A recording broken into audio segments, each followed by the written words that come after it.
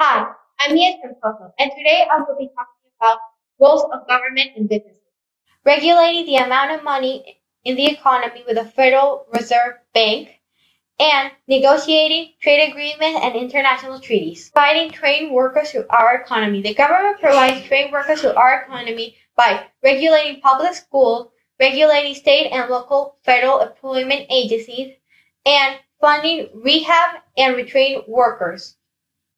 Training and supporting businesses. In the training, the government provides information that businesses can use.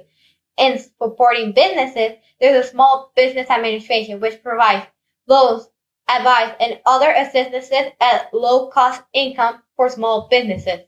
Being a big customer. The government is a big customer by buying goods and services provided by private companies. Providing transportation. The government provides transportation by constructing and providing maintenance for transportation systems.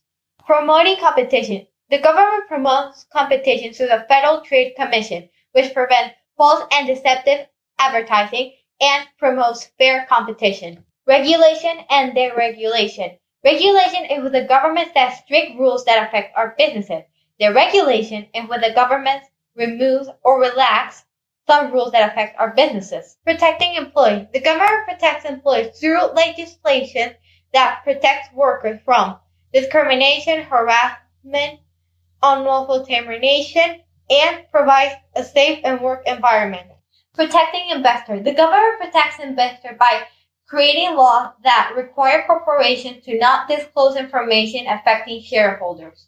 Protecting investors. The government protects investors by creating laws that require corporations to not disclose information affecting shareholders. Protecting the environment. The government protects the environment through the EPA, Environmental Protection Agency. It was created to protect the natural environment around us.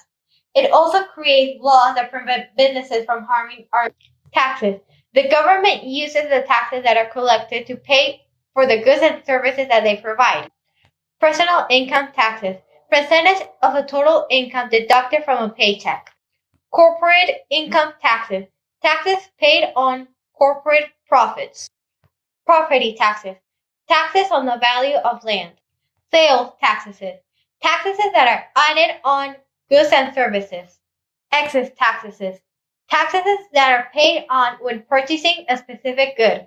Tariffs, also known as import taxes. Taxes that are put on imports brought from another country for sale. Protecting customers. The government protects customers by creating laws and agencies that protect customers' rights. This is Mia saying goodbye. Now you know how businesses and government relate.